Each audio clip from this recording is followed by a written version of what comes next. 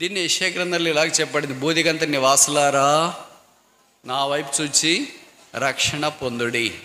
కనుక చూస్తే రక్షణ ఇదేంటి విడ్డూరంగా ఉంది? మనుషుల్లో ఏమనుకుంటారంటే చేస్తే రక్షణ అనుకుంటారు. ఏదో ఒకటి చేయాలి కదండి రక్షించబడాలంటే ఏదో పుణ్యం చేయాలి కదండి పరలోకానికి వెళ్ళాలంటే ఏదో దాన ధర్మాలు చేయాలి కదండి ఈ పాపం నుండి తప్పించుకోవాలంటే ఏదో ఒకటి చేయకుండా దేవుని దగ్గరికి ఎలా వెళ్తామండి? ఏదో ఒకటి చేస్తే కదండి వెళ్ళేది? చేస్తే దేవుడి దగ్గరికి వెళ్తామనేది మానవ ప్రయత్నం. చూస్తే దేవుడి దగ్గరికి వెళ్తామనేది దైవ నిర్ణయం. ఇంకోసారి చెప్పనా? ఏమైనా చేస్తే దేవుడిని మనం చూస్తాము దేవుడి దగ్గరికి వెళతామనేది మానవ నిర్ణయం. చూస్తే దేవుని యొక్క సాన్నిధ్యాన్ని చేరేది దైవ నిర్ణయం. అదే బైబిల్ బోధించేది మనుషుడు చేసి దేవుని దగ్గరికి వెళ్ళలేడు చూసి దేవుని దగ్గరికి వెళ్ళగలడు. దేన్ని చూడాలా అనేదే ప్రస్తావించబడే ప్రాముఖ్యమైన సంగతి. యేసును చూచుట. అందుకే సువార్తలో చాలా సందర్భాల్లో రాయబడింది. అలాగే యోహాన్ సువార్త పన్నెండవ అధ్యాయంలో కూడా ప్రస్తావించబడిన మాట మనకు పరిచయము. యేసు ప్రభు వారు కొన్ని స్థలాల్లో ఉన్నప్పుడు ఉదాహరణకి లూకాసు వార్త పంతొమ్మిదవ అధ్యాయంలో ఎరుకు అనే పట్టణంలో యేసు ప్రభు వారు సంచరిస్తున్నాడని తెలుసుకొని మూడవ వచ్చిన gospel according to doctor Luke chapter nineteen verse three లూకాస్ వార్త పంతొమ్మిదవ అధ్యాయము మూడవచనములో ప్రస్తావించబడిన మాట నేను చదువుతా. దయచేసి మీరు ఆలకించాలని మనవి చేస్తున్నాను యేసు ఎవరో అని చూడగోరేనో ఇదే రక్షణకు ఆరంభం. ఏసు ఎవరో? Want know who Jesus is అని చూడగోరాడు. ఇప్పుడు యోహాన్ సువార్త పన్నెండవ అధ్యాయ్. John chapter twelve verse nine యోహాన్ పన్నెండు తొమ్మిది. కాబట్టి యూదులలో సామాన్య జనులు ఆయన అక్కడ ఉన్నాడని తెలుసుకుని యేసును చూచుటకు మాత్రమే కాక యేసుప్రభుని చూడటానికి వచ్చినారు ఎవరు వచ్చినారు? శాస్త్రులు పరిచయలు ఇలాంటి గొప్ప గొప్పలు కాదు. సామాన్య జనులు. పరిశుద్ధాత్మ దేవుడు ఇది మాటి మాటికి మెన్షన్ చేస్తున్నాడు. మీకు తెలుసు కదా యేసుప్రభు వారి బోధలో రెండు గుంపులు ఉన్నాయి. సామాన్య జనులు మతనిష్ట కలిగిన డబ్బులు కలిగిన వాళ్ళు. సామాన్య జనులు యేసుప్రభు ఎక్కడ చెప్తే అక్కడ గుంపులు గుంపులకు వచ్చేసారు. మతనిష్ట కలిగిన వాళ్ళు ఆ చెప్పేసాడు. వాళ్ళు కూడా వచ్చినారు కానీ వేరే ఉద్దేశంతో వచ్చినారు. ఆయన ప్ర ప్రశ్నించాలని శోధించాలని తప్పులు ఎత్తుకాలని అలాగొచ్చినారు. విచిత్రం ఏంటంటే సామాన్య జనులు ఇష్టపడితే ఎంత బాగుండని. నాకు కూడా చాలా సందర్భాలు అనిపిస్తుంది. నన్ను ధనవంతులు పిలవరు డబ్బున్నోళ్ళు అసలే పిలవరు హోదా ఉన్నోళ్ళు పొరపాటును కూడా పిలవరు. ఎవరైనా నా దగ్గరకు వచ్చి మాట్లాడేదంటే సామాన్యమైన వాళ్ళు. ఎవరైనా నా దగ్గరకు వచ్చి సెల్ఫీ అడిగేది ఏంటంటే సామాన్యమైన వాళ్ళు. ఎవరైనా పిలిచి ప్రార్థన లేదా మీటింగ్లు ఏర్పాటు చేసుకునేది ఏంటంటే సామాన్యమైన వాళ్ళు. మీ మాదిరి హై క్లాస్ పీపుల్ సంవత్సరానికి ఒకసారి పిలుస్తారు.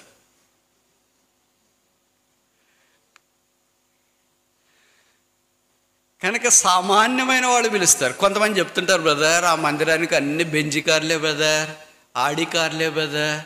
అన్ని పవర్ఫుల్లే బ్రదర్. మంచిదే గొప్పవాడు వాళ్ళ దగ్గరికి వెళ్ళని ప్రభు దగ్గరికి వాళ్ళు వచ్చినారు? Common people. Poor people sick people weak people insignificant people పేదలు బలహీనులు సామాన్యులు రోగులు ఊచకాలు చేయగలిగిన వాళ్ళు. అలాంటి వాళ్ళంతా సామాన్యమైన ప్రజలు యేసును చూచుటకు వచ్చుచుండేరి. మనం యేసు ప్రభుని చూపించడానికి ప్రయత్నం చేస్తే వీళ్ళంతా వస్తారు. యేసు ప్రభుని తప్ప మిగతా వాళ్ళని చూపించడానికి ప్రయత్నం చేస్తే వాళ్ళంతా వస్తారు. వాళ్ళు అంటే మీకు అర్థమైంది కదా? ఇప్పుడు యేసుప్రభును మనం చూపిస్తున్నామా? యేసును చూసుటకు సామాన్యమైన ప్రజలు వచ్చిరి. యేసు ఎవడో జక్కై చూడగోరాడు. కనుక ఎవరు యేసును చూస్తూ ఉన్నారు వారు రక్షణ పొందటానికి ఏర్పాటు చేయబడిన మార్గమే శిలవ మార్గం. మనందరి పాపాల కొరకై దేవుడు తానే మానవుడిగా యేసు ప్రభు రూపాన్ని భూమి మీదకి దిగివచ్చి శిలువ మీదకి వెళ్ళి రక్తం కార్చి చనిపోయి సమాజ చేయబడి తిరిగి లేపబడి ద్వారా పాపలమైన మనకు మానవ జాతికి మానవ కోటికి రక్షణ దేవుడు సంప్రాప్తం చేశాడు. అందుకే ఆయన చూచడం ద్వారా రక్షణ కలుగుతుంది. మనిషి ఏమనుకుంటాడు? ఏదైనా చేయిస్తే రక్షణ కలుగుతుందంటే క్రియల వలన ఇది కలిగినది కాదు ఇది దేవుని వరమే. ఎఫ్ఎస్సి పత్రిక రెండవ అధ్యాయంలో మనం గమనిస్తున్నాం. మనుషుని యొక్క క్రియలన్నీ యెషయా గ్రంథంలో చెప్పబడింది. దేవుని ఎదుట మురికి పేలికలు అని. మురికి పేలికలతో మనం పరలోక రాజ్యానికి ప్రవేశించలేము. వరముతో ఈవితో మాత్రమే పర పరలోక రాజ్యంలో ప్రవేశించగలం. అందుకే రోమపత్రికలో అపోస్టైన పౌలు అన్నాడు పాపం వలన జీతం మరణము అయితే దేవుని కృపావరము ఇట్ ఈస్ ద గిఫ్ట్ మన ప్రభు అయిన యేసుక్రీస్తునందు నిత్య జీవమై ఉన్నది. ఇక్కడ యోహాన్సు వార్త మూడో అధ్యాయం పదిహేనో వచనంలో యేసు ప్రభువును చూచుడు ద్వారా ఆయన ఎంత విశ్వాసం ఉంచడం ద్వారా ఇప్పుడు జక్కేకి ఏం కలిగింది? గొప్ప రక్షణ కలిగింది. యేసు ఎవరో చూడాలని జక్క వెళ్ళాడు.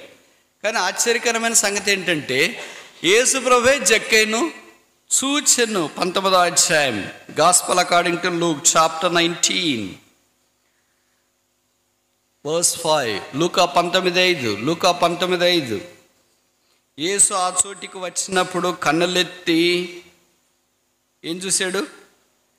జక్కయ్యను చూచి కన్నులెత్తితే ఏం కనిపించాలో మనకైతే? జక్క ఎక్కడున్నాడు ఇప్పుడు? మేడి చెట్టు మీద ఉన్నాడు. మనం కళ్ళెత్తి మనకేం కనిపిస్తాయి? మేడి చెట్టు కనిపిస్తాయి. అబ్బా మేడిపళ్ళు ఎంత బాగున్నాయి. కొన్నన్నా కోసుకొని ఉంటే బాగుండేది. మా ఆయనకి మా ఆవిడికి మా పిల్లలకి చాలా ఇష్టం. మేడి పండు చూడు మేలిమయుండు పొట్ట విప్పి చూడు పురుగులుండు. కనుక అలాంటి దుస్థితిలో బయటికి చాలా బాగున్నాడు. జక్కయాస్ అంటే అర్థం ఏంటంటే వైట్ తెల్లనైనా అని మంచి పేరు పెట్టారు ఎవరో? మంచి ఉద్యోగంలో ఉన్నాడు. సిటీఓ కమర్షియల్ ట్యాక్స్ ఆఫీసర్ పెద్ద ట్యాక్స్ ఆఫీసర్ అంటే ఎంత పలకబడి ఎంత పలకబడి ఉంటుంది? కనుక అలాంటి స్థానంలో ఉన్నాడు. పెద్ద ఇల్లు కూడా ఉంది ఆయనకి. భార్య పిల్లలు కూడా ఖచ్చితంగా ఉంటారు. ఎందుకంటే ప్రభు చెప్పాడు today I must abide at the house నేడు నేను నీ ఇంట ఉండవలసి ఉన్నది. ఇల్లు లేనోడైతే మా మాదిరి చెప్తాడు కదా ప్రభు అక్కడైనా ఇక్కడైనా ఎవరైనా ఒకటే కనుక ఈ చెట్టే నా ఇల్లు. ఇప్పుడు ఇక్కడే ఉన్నాను కనుక ఇక్కడే ఉంటాను. నాకేం అలాగేం లేదు అని చెప్పింటాడు కదా. బైబిల్లో రాయబడింది ఏంటంటే యేసుక్రీస్తు ప్రభు వారిని ఇంటిలోనికి తీసుకొచ్చినాడు. ఐదవ వచ్చినాం నేడు నేను నీ ఇంట ఉండవలసినదని అతనితో చెప్పగా అతడు త్వరగా దిగి సంతోషముతో ఆయనను చేర్చుకొనేను. అందరూ అది చూచి ఏది చూసి? యేసుప్రభు వారి జక్క ఇంట్లోకి వచ్చింది చూచి ఈయన పాపి అయిన మనిషిని యుద్ధ బస చేయ వెళ్ళనని చాలా సణక్కొని అసలు వచ్చిన ఉద్దేశం ఏది? The mission of the Lord Jesus Christ is to dwell with a sinner as a saints పరమ పరిశుద్ధుడిగా పాపి అయిన మనిషిని మధ్యలో నివసించాలని ప్రభువారు వచ్చినారు. అందరు అది చూచి యేసు ప్రభు వారు పాపల స్నేహితుడు పాపల రక్షకుడు. అందుకే యోహాను సువార్త నాలుగో అధ్యయంలో చెప్పబడింది యేసుక్రీస్తు ప్రభు వారికి మాత్రమే ఇది సాధ్యము. పాపం చేత పీడించబడుతున్న ఒక స్త్రీ అక్కడికి వచ్చింది నీళ్ళు చేదుకోవటానికి. యేసుప్రభు ఆమెతో ఈ నిత్యజీవ జలాన్ని గురించి మాట్లాడినట్లు వాక్యంలో మనకు పరిచయం. యోహాన్ సువార్త నాలుగో అధ్యాయంలో కానీ ఆ తర్వాత యోహాన్ సువార్త ఎనిమిదో అధ్యాయంలో కానీ ఇద్దరు స్త్రీల సందర్భంలో యేసుక్రీస్తు ప్రభువారు మాట్లాడిన సంగతి ఎంత చక్కగా పరిశుద్ధాత్మ దేవుడు గ్రంథస్థం చేసాడంటే John chapter four verse fourteen యోహాన్ నాలుగు పద్నాలుగు. John chapter four verse fourteen. నేను ఇచ్చిన నీళ్ళు త్రాగువాడు వాడెప్పుడునో దప్పికొనడు. నేను వానికి ఇచ్చిన నీళ్ళు నిత్య జీవం ఏంటంట? ఊరెడి నీటి ఊట. ఇక్కడికి ఎలాగోలాగ పరిశుద్ధాత్మ దేవుడు నిత్య జీవన మనకు పరిచయం చేస్తూనే ఉన్నాడు. నిత్య జీవనకు ఊరెడి ఊట అంటే ఆమెకి నిత్య జీవం అంటే ఏం తెలుస్తుందని మనం అనుకుంటాం. ఆమెకు ఆరాధన అంటే ఏం తెలుస్తుందని మనం అనుకుంటాం. ఏదో పాపం అంటే తెలుసు కానీ ఈ పరిశుద్ధమైన మాటలు ఆంకేం తెలుసని మనం అనుకుంటాం. కానీ ఆమె చాలా గొప్ప కార్యం చేసింది. నా నేను చేసినవన్నీ నాతో చెప్పిన ఈయన క్రీస్తు కాడా? కమన్సి వచ్చి చూడుడి. ఆ ఊరి వారందరూ వచ్చి చూసినారు. యేసు ప్రభుకు వాళ్ళకు పేరు పెట్టినారు. ఏమని? ఈయన నిజముగా లోక రక్షకుడు. సమరయపట్నం రక్షకుడు అని చెప్పలే. సుకారణ ఊరు రక్షకుడు అని చెప్పలే. అలాగే చెప్పి నేను నిజముగా సుకారణ పట్టణం రక్షకుడు అని అంటే ఓహో అంతటితో కథం. ఈయన సమరయ రక్షకుడు అంటే అందరితో అయిపోయి ఉంటుంది ఈయన నిజముగా లోక చూడండి అన్నమాట మాట లూకాసు అమ్మనించండి. జాన్ చాప్టర్ ఫోర్ యోహాన్ సువార్త నాలుగో అధ్యాయం. వర్స్ ఫార్టీ టూ నాలుగు నలభై రెండు. మా మట్టుకు మేము విని ఈయన నిజముగా this is the magnanimous description. లోక రక్షకుడు అనే పదం లేకపోతే ఎంత ఇబ్బంది అయింది ఇది? ఈయన మాకు మాత్రమే రక్షకుడు కాదు యూదులకు మాత్రమే రక్షకుడు కాదు సమరైలకు మాత్రమే రక్షకుడు కాదు. He is the saviour of the world అదే మేము ప్రకటించే వర్తమానం Jesus Christ is the saviour of the world యేసు ప్రభు వారు లోకానికి రక్షకుడు. Is not only saviour for the downtrodden people is not only saviour for the simple people but is the saviour of the whole world ఆయన సామాన్యులకు మాత్రమే కాదు పేదలకు మాత్రమే కాదు రోగులకు మాత్రమే కాదు నిరాకరించబడిన వారికి మాత్రమే కాదు దళితులకు మాత్రమే కాదు త్రోసివేయబడిన వారికి మాత్రమే కాదు సంచార జీవులకు మాత్రమే కాదు బైబిల్ సెలవివ్వబడింది ఆయన నిజముగా లోక రక్షకుడు. అందుకే వ్యవహారం మూడు పదహారులు చెప్పబడింది దేవుడు లోకమును ఎంతో ప్రేమించి అంటే అందరినీ ప్రేమించినాడు. Is there is no single person who can not miss the cloud of the love of Jesus Christ యేసు ప్రభు యొక్క ప్రేమ మేఘానికి వెలబట్టున్న మానవుడు భూమి మీద ఏ ఒక్కరునో లేరు. అందుకే యోహాను స్వార్త ఎనిమిదో అధ్యాయంలో పాపం చేత పట్టబడిన స్త్రీని యేసుప్రభు దగ్గరికి తీసుకొని వచ్చినారు కొంతమంది. తీసుకొని వచ్చి రాళ్ళతో చావగొట్టాలని ఆమెను మోష ధర్మశాస్త్రం ఇలాగ చెప్పేశారు కదండి. అందుకే రాళ్ళు కూడా తెచ్చేసామండి. మళ్ళీ మీరు తీసుకొని వచ్చి ఇబ్బంది లేకుండా మళ్ళీ మమ్మల్ని వెళ్ళి తీసుకురమ్మంటారేమో అని అందుకే కొట్టడానికి రెడీగా వచ్చేసామండి అని. వాళ్ళు ఈ స్త్రీ ఈ స్త్రీ ఈ స్త్రీ ఈ స్త్రీ అని ఆమెను గురించి ప్రస్తావించినారు. తర్వాత ప్రభువారు చెప్పినారు మీలో పాపం లేనివాడు ఆమె మీద మొదట రాయి వేయుడి వాక్యంలో రాయబడిన మాట ఏంటంటే పెద్దవారు మొదలుకొని తొమ్మిదో వచ్చినాం John chapter eight verse nine. యోహాను సువార్త ఎనిమిదో అధ్యాయం తొమ్మిదో వచ్చినాం వారు ఆ మాట విని విని అని ఒకటేసి కింద రాశారు. మనస్సాక్షిత గద్దించబడిన వారై అంటే ఇది ఉందన్నమాట వాళ్ళకి. ఏది? గొప్పోళ్ళే మొత్తానికి మనస్సాక్షి పెట్టుకొని వచ్చినారు. అది ఇంట్లో పెట్టేసి రాలే. మనస్సాక్షిత గద్దించబడిన వారై పెద్దవారు మొదలుకొని చిన్నవారి వరకు ఒకని వెంట ఒకళ్ళు వెళ్ళిరి. ఇప్పుడు నేను ఒక మాట అడుగుతాను చిన్నోంది ఏం పనుంది అక్కడికి? ఏదో పెద్దోడు పాపం చేసినారని తెలిసింది కానీ చిన్న పిల్లలకి ఏం తెలుసు? అది గొర్రెల మంది ఇది. ఒక గొర్రె పోయింది. మిగతా గొర్రెలన్నీ పోతూనే ఉంటాయి. ఎక్కడికి? కషాయవానింటికి ఒక గొర్రె పోయింది. మిగతావన్నీ కషాయవానింటికి వెళ్తాయి. ఎక్కడికి? కాలువలోకి ఒక గొర్రె పోయింది. మిగతావన్నీ కాలువలోకి పోతాయి. కొడలోకి ఒక గొర్రె పోయింది మిగతావన్నీ కొండలోకి పోతాయి. బోన్లోకి ఒక గొర్రె పోయింది మిగతావన్నీ పోతాయి. దొడ్డిలోకి ఒక గొర్రె పోయింది మిగతావన్నీ పోతాయి. ఈ భౌతికమైన దానికి గొర్రెలన్నీ క్యూలు కడతాయి ఆత్మీయమైన దానికి తప్ప.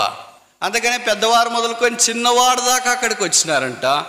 ప్రభు మాట వారు విని మనస్సాక్షిత గృత్సబడిన వారే వారు అక్కడి నుండి బయటకు వెళ్ళిరి. ఏసొక్కడే మిగిలేను ఆ స్త్రీ మధ్య నిలబడి ఉండను. ఇప్పుడు చూడండి ఎనిమిది పది. John chapter eight verse ten యేసు తల ఎత్తి చూచి అమ్మా వేర్ ఆర్ దే యేసు ప్రభు సంబోధన ఈ భూమి మీద ఒక్కడే ఒక్కడిలాగా చేయగలడు.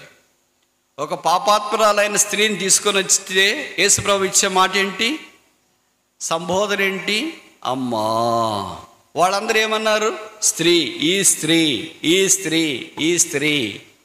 యేసు ప్రభుకి ఆ స్త్రీ ఏమైంది? అమ్మాయింది. అమ్మాయి పాపల మిత్రేవాడు ఇంతగా ప్రేమించేవాళ్ళు ఎవరున్నారు? లోకమంతా నిన్ను నిరాకరించింది నువ్వు దొంగ అనింది నిన్ను ద్రోషి అనింది నేను తాగుబోతాను నేను తిరిగిపోతానింది నేను రకరకాలుగా మాట్లాడుతూ వచ్చింది సమాజం. కానీ ఒకే ఒక్కడు మాత్రమే నిన్ను ప్రేమించేవాడు. ఆయన పెదవుల మీద దయారసం పోయబడి ఉంది. ఆయన మాటలు ఉరట కలిగిస్తున్నాయి గాయాలు కడుతున్నాయి రోగాలు బాగు చేస్తున్నాయి మనుషునికి నెమ్మది కలిగిస్తుంది. అమ్మా వేరాడదే వాళ్ళెక్కడా? వాళ్ళని గురించి ఎందుకు ప్రభా నీకు పట్టింపు? వాళ్ళు రక్షించబడాలని కాదు. వారు ఎక్కడున్నారు నిత్య జీవంలోనికి వచ్చినారా? They are outside the eternal life వారు నిత్య జీవానికి వెళ్ళి వెళ్ళిపోతున్నారు. వారు కూడా అక్కడే ఉండింటే వారు కూడా నిత్య జీవంలోనికి ప్రవేశించడానికి అవకాశం ఉండేది. కానీ విచిత్రం ఏంటంటే వారు అక్కడ నుండి వెళ్ళిపోయిరి. ఎవడను నీకు శిక్ష విధింపలేదా? పై వచ్చిన ముందు కదా? ఒకని వెంట ఒకడు బయటికి వెళ్ళేరి. They are going out of the eternal life నిత్య జీవంలో నుండి బయటికి వెళ్ళిపోయారు. ఒకే ఒక స్త్రీ మాత్రమే నిత్యంలోనికి ప్రవేశించింది. బయటికి వెళ్ళిన వాళ్ళు ఎక్కువ మంది ఉన్నారా? లోపలికి వచ్చిన వాళ్ళు ఎక్కువ మంది ఉన్నారా? వన్ ఇస్ టు డాష్ ఒక్క స్త్రీ నిత్యజీవంకి వస్తే మిగతా వాళ్ళంతా బయటికి వెళ్ళిపోయారు. ఈ రాత్రి చేరి వచ్చిన మనలో అలా బయటికి వెళ్ళిపోయే వాళ్ళు ఎంతమంది? నిత్య జీవము త్రోసు వేసి ఆన్లైన్లో జాయిన్ అయ్యేవాళ్ళు. నిత్య జీవమైన యేసును త్రోసు వేసి నువ్వు బయటికి వెళ్ళటానికి ప్రయత్నం చేస్తే నిత్య నరకాగ్నిలోనికి ప్రవేశిస్తున్నావు అనే సంగతి గుర్తించుకో. అందుకే యోహాన్స్ వార్త మూడు పద్నాలుగు పదిహేను మనకి ఏ జ్ఞాపం చేస్తుందంటే యేసు ప్రభు వారు మన కొరకై సిద్ధపరిచిన ఆ నిత్యజీవము కొరకైన ఏర్పాటును ప్రత్యక్షతను జ్ఞాపం చేస్తుంది. అందుకే దీనికి ఒక పేరు పెడదామా? ప్రజెంటెడ్ ఎటర్నల్ లైఫ్ లేదా దీన్ని ప్రిపేర్డ్ ఎటర్నల్ లైఫ్ సిద్ధపరచబడిన ఇయ్యబడిన వరముగా ఇవ్వబడిన నిత్య జీవం మిగతా కూడా తొందరగా చూసి ముగించడానికి ప్రయత్నం చేస్తాం. రెండేది యోహాను సువార్త ఆరవ అధ్యాయం. John chapter six verse fifty four. యోహాన్ సువార్త ఆరో అధ్యాయం యాభై నాలుగు వచ్చినాం నా శరీరం తిన్న రక్తం త్రాగువాడి నిత్యజీవం గలవాడు. అంతదినా తినాను నేను వాడిని లేవు ఇప్పుడు చెప్పండి నిత్యజీవం అంటే మనం అంతే చాలామంది ఏమనుకుంటున్నామంటే ఈ లోకాన్ని విడిచిపెట్టిపోయిన తర్వాత పరలోక రాజ్యంలో ప్రవేశిస్తాం కదా అదే నిత్యజీవం అనుకుంటాం. మరి అక్కడే నిత్యజీవం ఉండేటట్టయితే శరీరం తిని రక్తం తాగడం అక్కడ ఉంటుందా? బలలో పాలు పొందేది అక్కడ ఉంటుందా? ఆదివారం అక్కడ ఉంటుందా? ఉంటుందా ఉంటుందా శరీరం తిని రక్తం త్రాగేది పరలోక రాజ్యంలో లేదు కదా. అది భూమి మీదే ఉంది. అందుకనే నా శరీరం తిని నా రక్తం త్రాగువాడే నిత్యజీవం గలవాడంటే ఇది భూమి మీద మనం నిత్యజీవాన్ని అనుభవిస్తున్నాం. ప్రైజ్డ్ ఎటర్నిటీ మన కొరకై వెల చెల్లించబడిన నిత్య జీవం ఇది. ఇది మాటలతో వచ్చిన నిత్య జీవం కాదు. ఇది వెల చెల్లించబడిన నిత్య ఆ వేళ యేసుక్రీస్తు ప్రభువే తన ప్రాణం పెట్టడానికి భూమి దిగి దిగి వచ్చాడు. యోహాన్ స్వార్థ పదవ అధ్యాయంలో చెప్పబడింది ప్రాణం పెట్టడానికి ప్రాణం తీసుకోవటానికి అధికారం ఉంది. అలాగే గొర్రెల కొరకు మంచి కాపరి తన ప్రాణము పెట్టును. గొర్రెల ప్రాణం తీసేవాళ్ళు కాదు కాపరి. గొర్రెల కొరకు ప్రాణం పెట్టేవాళ్ళు కాపరి. ఆయనే మంచి కాపరి. ఆయనే యేసుక్రీస్తు ప్రభువు మూడోది చూస్తామా? యోహాన్స్ వార్త ఏడవ అధ్యాయము. మన్నించండి. పదిహేడవ అధ్యాయం. రెండవ వచనం. John chapter seventeen verse two. యోహాన్ సువార్త పదిహేడో అధ్యాయము రెండవ వచనం.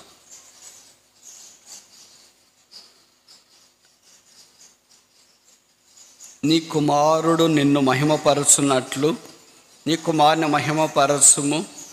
నీవు నీ కుమారుని ఇచ్చిన నీవు నీ కుమారునికి ఇచ్చిన వారందరూ ఆయన నిత్యజీవం అనుగ్రహించున్నట్లు సర్వ శరీరుల మీద ఆయనకు అధికారం ఇచ్చితివి నిత్యజీవం అనుగ్రహించడానికి కొరకే ఏంటి అది అంటే మూడవ వచనంలో చెప్పబడింది. అద్వితీయ సత్యదేవుడు అయిన నిన్నును నీవు పంపిన యేసుక్రీస్తును ఎరుగుటయే నిత్య జీవం. What's eternal life this is the most fabulous incredible simple down to earth definition for eternal life నిత్య జీవానికి ఇది చాలా అందమైన సరళమైన సామాన్యమైన నిర్వచనం. యేసుని ఎరుగుటే నిత్య జీవం. యేసు ప్రభుని ఏ నిత్య జీవము కాదు. కానీ యేసుప్రభుని భూమి మీద ఉన్నప్పుడు ఎరుగుతాం పరలోకానికి వెళ్ళిన తర్వాత ఎరుగుతామా? ఇక్కడ మనం ఆయన ఎరుగుతున్నాం పరలోకానికి వెళ్ళిన తర్వాత ఆయన చూస్తాం. కానీ ఇక్కడ నిత్యం యొక్క అనుభవంలోనికి మనం దీని ద్వారా తీసుకుని రాబడుతున్నాం. అందుకే దేవుడు ఆయనకు సర్వాధికారం ఇచ్చినాడు. It's a powered eternal life అధికారం ఇవ్వబడిన నిత్య జీవం అది. అధికారం ఏంటి అధికారము ఐదు రకాలుగా ఉంది. బహుశా ఇప్పుడు చెప్పడము సమయం కష్టం అనుకుంటా. ఇవన్నీ దేవుడు యేసుక్రీస్తు ప్రభు రూపాన మన కొరకాయ సిద్ధపరచబడిన అధికారం. అందుకే మత స్వార్థలు చెప్పబడింది కదా లో all authority is given unto me in the world ఈ లోకంలో అంత అధికారము నాకు ఇవ్వబడి ఉన్నది ఆయన సర్వాధిపతి సర్వాధికారి అయిన దేవుడు నిరంతరము రాసై ఉన్నాడు. ఆయనకు మినహాయింపగలిగిన అధికారం భూమి మీద ఏదియూ లేదు. ఆయనను బట్టి ఆయన మూలమున ఆయన ఎందు సమస్త అధికారము కలిగిందన్న వాక్యంలో మనం చూస్తున్నాం. అందుకే యహోవా రాజ్యము చేయించున్నాడు. ఆయన సింహాసనాసనుడై ఉన్నాడు.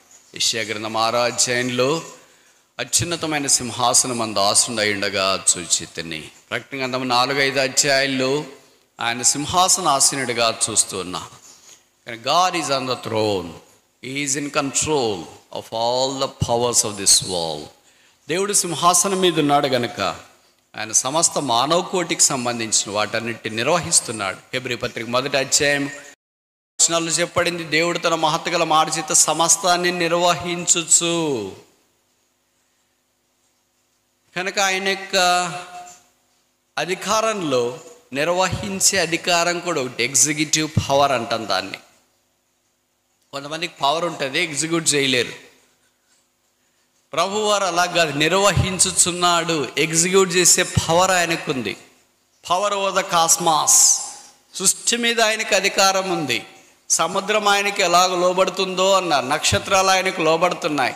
సమస్త సృష్టి ఆయనకు లోబడుతుంది. This is power of the cosmos universal power సార్వత్రికమైన అధికారం ఆయన కలిగిన వాడు. రెండవది ఎగ్జిక్యూటివ్ పవర్ ఆయన నిర్వహించే శక్తి కలిగిన వాడు. మూడోది మన క్రియేటివ్ పవర్ అది కన్నా మొదటి అధ్యాయంలో వెలుగు కలుగునుగాక లెట్ దేర్ బి లైట్ అక్కడ సృష్టి ఏర్పడినట్లు మొదటి అధ్యాయం అంతా మనం చూస్తాం. కనుక ఆయన క్రియేటివ్ పవర్ నాలుగోది ఏంటి? పవర్ ఆఫ్ ద ఫర్గివ్నెస్ పాపములు క్షమించుటకు మనిషి కుమారునికి భూమి మీద అధికారము ఇయ్యబడి ఉన్నది ఐదవది ఆఖరిది సవరిన్ పవర్ సర్వభౌమ సార్వభౌమాధికారం.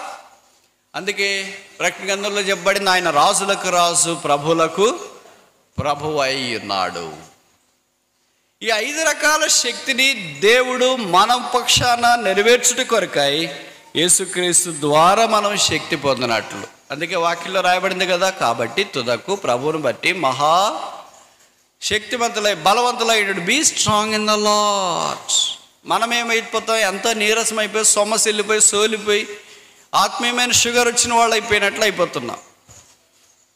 భౌతికంగా డయాబెటిక్ పేషెంట్లు ఎలాగుంటారంటే వాళ్ళు ఎలాగుంటారో వాళ్ళకి చాలాసార్లు తెలియదు ఉదయం చాలా పడ్డ ఈరోజు నాకు చాలా బాగుంది అంటారు పదకొండు అయ్యేటప్పటికి కాళ్ళు చేతులు అన్నీ వడికిపోతే నాకు షుగర్ ఎక్కువైపోయినట్లుంది పడిపోయినట్లుంది అంట.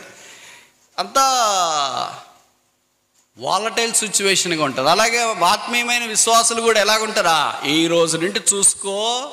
ప్రభుని ఎలాగ సేవిస్తానో ఇప్పటి నుండి చూసుకో ఎంత ప్రార్థన చేస్తానో ఇప్పటి నుండి చూసుకో ఎంత వాక్యం చదువుతానో ఇప్పటి నుండి చూసుకో ఎంత సాక్ష్యం ఇస్తానో ఇప్పటి నుండి చూసుకో ఎంత ప్రయాసపడతానో ఇప్పటి నుండి చూసుకుంటే సాతని చెప్తూనే ఉన్నాడు. చూసి చూసి చూసి చూసి చాలా ఏళ్ళు అయిపోయింది. నేను కొత్తగా చూసేది ఏముంది?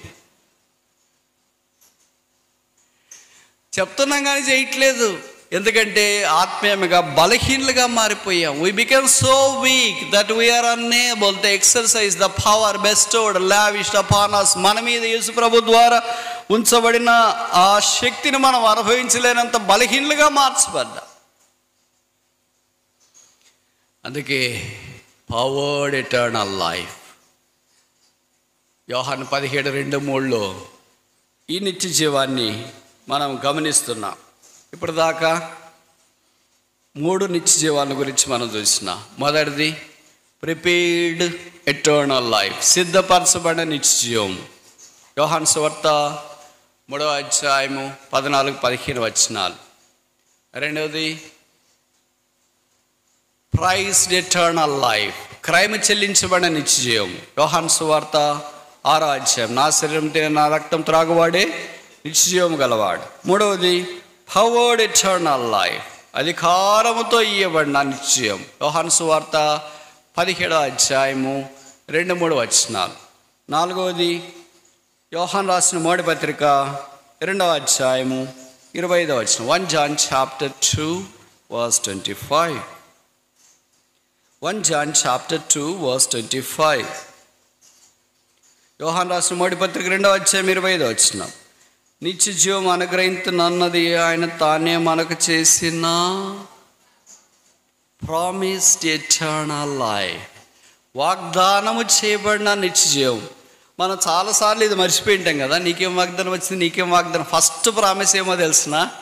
నిత్య జీవం నేను మీకు అనుగ్రహించేది there is no first promise other than this eternal life promise for all of us మనందరి కొరకే దేవుడు చేసిన వాగ్దానం ఇదే. అందుకే యోహాను ఐదు ఇరవై నాలుగు నా మాట విని నన్ను పంపిన వాని ఎంత విశ్వాసం ఉంచు. ప్రతివాడు నిత్య జీవము గలవాడు. ఈ హ్యాత్ ఎటర్నల్ లైఫ్. అంటే ఆయన కలిగి ఉన్నాడు. ప్రస్తుత కాలాన్ని గురించి మాట్లాడుతుంది. భవిష్యత్ కాలాన్ని గురించి మాత్రమే కాదు. ఇది వాగ్దానం చేయబడింది. ఎవరైనా మనకి నిత్యజీవాన్ని భూమి మీద వాగ్దానం చేస్తారా? చాలాసార్లు మనుషులు చాలా విషయాలు చెప్తారు. మేము వృద్ధులు అయిపోయిన తర్వాత చూసుకోండి. నాకు కూడా కొంతమంది చెప్తా ఉంటారు బ్రదర్ మీరు రిటైర్డ్ అయిపోయిన తర్వాత మా ఊర్లోనే వచ్చి ఉండండి బ్రదర్. ఇంకా కొంతమంది ఒక అడుగు ముందుకే చెప్తారు బ్రదర్ రిటైర్డ్ అయిపోయిన తర్వాత మా ఇంటి పైన ఒక టెంట్ హౌస్ పెంట్ హౌస్ కడతాం బ్రదర్. అక్కడే వచ్చి ఉండండి బ్రదర్. మేమే చూసుకుంటామని తర్వాత ఇలా ఊరు వెళ్ళిపోయి మా ఊరు వెళ్ళిపోయిన తర్వాత ఒక్కళ్ళు కూడా ఫోన్ చేయరు. మరి రిటైర్డ్ అయిన తర్వాత చూసుకుంటారని. ఎందుకంటే మాట వరుసకి చెప్పే మాటలన్నీ మనకు చాలా తెలుసు కదా. విని విని విని విని మాట వరుసకి మాటలన్నీ అలవాటు అయిపోయి ఉంటాయి. సర్వీస్లో ఉన్నప్పుడే పలకరియరే. రిటైర్డ్ అయిన తర్వాత ఎవరు పలకరిస్తారండి? రిటైర్డ్ అయిన వాళ్ళకి బాగా తెలుసు చూడండి అడగండి. వాళ్ళు అడిగినా మనకు భార్య కూడా ఉదయం అడిగితే ఇట్లేదు కదా తాగు అక్కడ ఉంది అని చెప్తుందండి. ఉద్యోగం చేసేటప్పుడు ఉదయం లేచినట్టు టీ కావాలా? న్యూస్ పేపర్ చూస్తావా? స్నానం చేసేవా? రెడీ అయిపోయావా? నేను క్యారేజ్ క్యారేజ్ గోదావరి భాష. అన్నీ పెట్టేసారా తీసుకెళ్తున్నారా? అని పరుగు పరుగున వచ్చేది. వెళ్ళేదాకా నా దగ్గర ఉండేది. వెళ్ళేటప్పుడు తాళపు చెవులు మొబైల్ ఫోను అన్నీ సర్ది సర్దిచ్చేది. ఇప్పుడు అంటే వాళ్ళు రిలాక్స్ అయినారని మనం అని అంటున్నాం బయట. కానీ ఆయన ఒప్పుకోవట్లేదు. రిలాక్స్ కాలేదు బ్రదర్. మారిపోయినారు. ఎట్లయినా తగ్గుతుందిలేండి బ్రదర్. నేను ఎంతోమందితో మాట్లాడా రిటైర్డ్ అయిన వాళ్ళ దగ్గర ముఖ్యంగా బ్రదర్స్ దగ్గర. ఎట్లయినా తగ్గుతుందిలేండి కదా ఇది బహుశా మనిషిని యొక్క నైజం కావచ్చు ప్రభు అలా కాదు. ఈ హ్యాస్ ప్రామిస్డ్ ఆయన వాగ్దానం ఇచ్చిన తర్వాత అబద్ధికుడు కాదు. ఆయన నరుడు కాదు అబద్ధం చెప్పడానికి మన నైజం ఏంటి? మన నైజం ఏంటి? సత్యం తప్ప అన్నీ చెప్తాం. సత్యం తప్ప ఇంకేముంది? అబద్ధమే ఉండేది.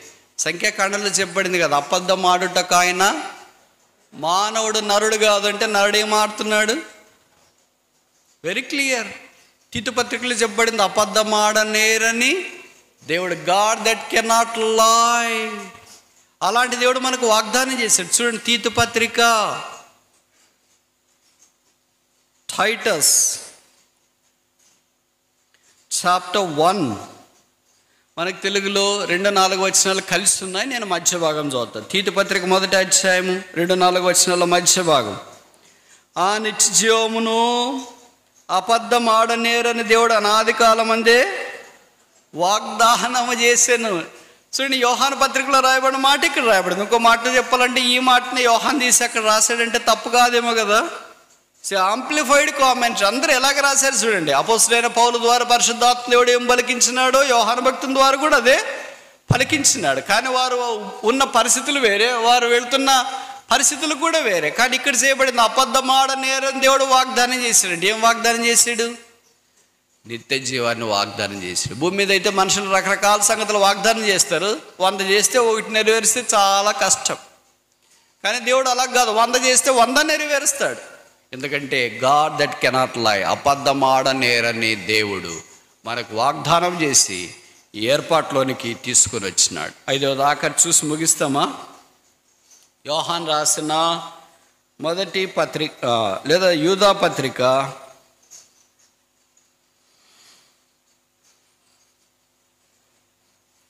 ఒకే అధ్యాయమే ఉంది ఇరవై ఒకటో వచ్చిన Jude verse one twenty one. యూదా పత్రిక ఇరవై ఒకటి వచ్చిన మీరు అతి పరిశుద్ధమైన విశ్వాసం మీద మిమ్మల్ని కట్టుకొనొచ్చు పరిశుద్ధాత్మలో ప్రార్థన చేయొచ్చు నిత్య జీవార్థమైన మన ప్రభు యేసుక్రీస్తు కొరకు కనిపెట్టుచు. దేవుని ప్రేమలో కాచు నిలుచున్నట్లు కాచుకొని ఉండడి ఎటర్నల్ లైఫ్. నిత్య జీవార్థమైన మన ప్రభు యేసుక్రీస్తు. యేసుక్రీస్తు ప్రభు Christ is the eternal life. This eternal life ఈ నిత్య జీవము యేసుక్రీస్తు ప్రభు ద్వారా మనకు అనుగ్రహించబడింది. కనుక ఇది మన కొరకే ప్రభు వారు భూమి మీద సిద్ధపరిచినాడు. ఈ భూమిని విడిచిన తర్వాత కూడా నిత్యంలో మనం ప్రవేశిస్తాం. Prepared eternal life. సిద్ధపరచబడిన నిత్యం ఐదు విషయాలు చూసినాం మొదటిది ఏంటి? ప్రిపేర్డ్ ఎటర్నల్ లైఫ్ సిద్ధపరచబడిన నిశ్చయం రెండవది ఏంటి ప్రైజ్డ్ ఎటర్నల్ లైఫ్ క్రైమ్ చెల్లించబడిన నిశ్చయం మూడవది ఏంటి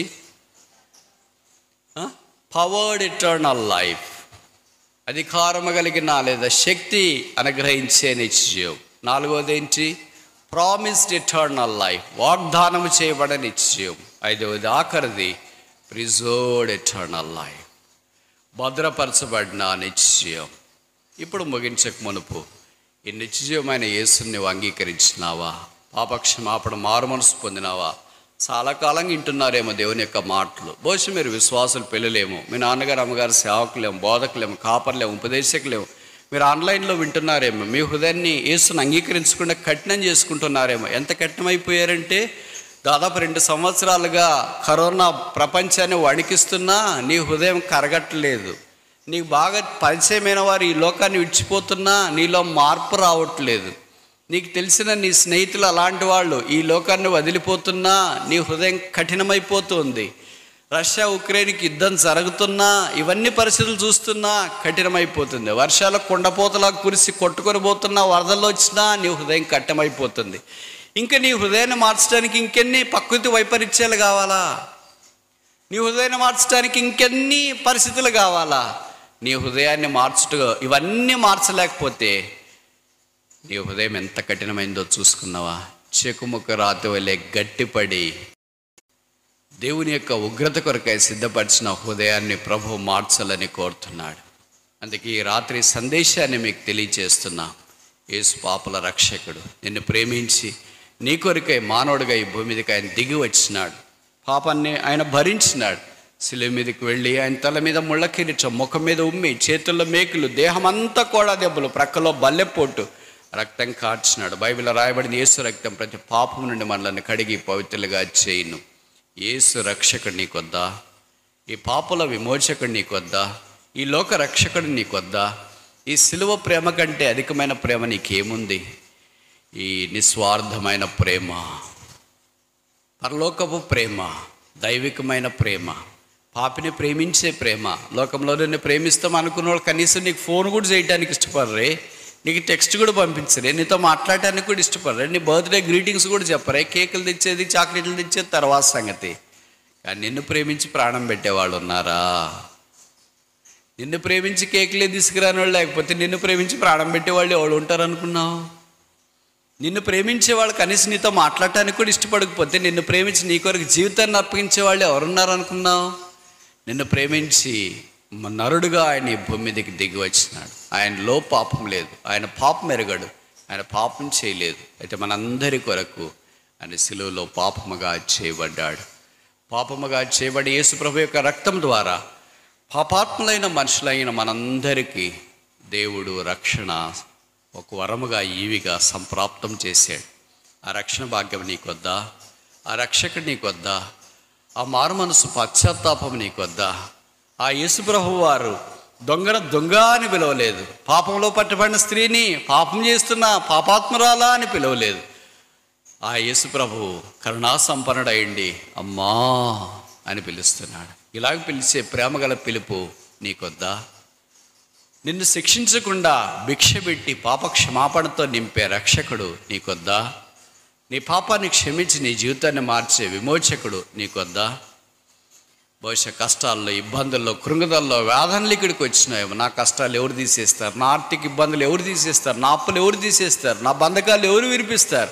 భూమి మీద అవన్నీ చేసేవాళ్ళు ఏ ఒక్కరు లేరు. ఒకే ఒక్కడు పేరు యేసు క్రీస్తు ప్రభువు కట్టబడిన గాడిదను విడిపించిన యేసు ఇది నన్ను కట్టబడిన మానవుని విడిపించాలని కోరుతున్నాడు. సంకట చేత బంధించబడిన దయ్యం పట్టిన వారిని విడిపించిన యేసు ఇది నాన్న బంధించబడిన మనల్ని విడిపించాలని కోరుతున్నాడు. ఈ రక్తస్రావం కలిగిన స్త్రీని బాగు చేసిన యేసు ఇది నాన్న బాధపడుతున్న నిన్ను కూడా బాగు చేయాలని కోరుతున్నాడు. అలాగే పాపంలో పట్టబడిన స్త్రీని క్షమించిన యేసు నిన్ను కూడా క్షమించి ఆశీర్వదించాలని కోరుతున్నాడు. శాపముగా మార్చగలిగే శాపాన్ని ఆశీర్వాదంగా మార్చగలిగేది ఒకే ఒక్కడే పేరు యేసు. పాపిని పరిశుద్ధుడిగా మార్చగలిగేది ఒకే ఒక్కడే పేరు యేసు క్రీస్తు ప్రభువు. చనిపోయిన వాడిని జీవములోనికి ప్రవేశపెట్టేది ఒకే ఒక్కడే పేరు యేసు ప్రభువు. నిత్య నరకములో నుండి నిత్య రాజ్యంలోనికి ప్రవేశపెట్టేది ఒకే ఒక్కడే పేరు యేసు క్రీస్తు ప్రభువు. బైబిల్లో రాయబడింది యేసు ప్రభు అన్నాడు నేనే మార్గము నేనే సత్యము నేనే జీవనైనా నా ద్వారానే తప్ప తండ్రి ఎదకి ఎవడనో రాడు. అని ఏకైక మార్గం పరలోకానికి గొర్రెల గుమ్మము గొర్రెల ద్వారము ఆ యేసుక్రీస్తు ప్రభు. ఈ రాత్రి యేసు నిస్పందన నిస్పందనించి మోకరించండి ప్రార్థన చేస్తూ.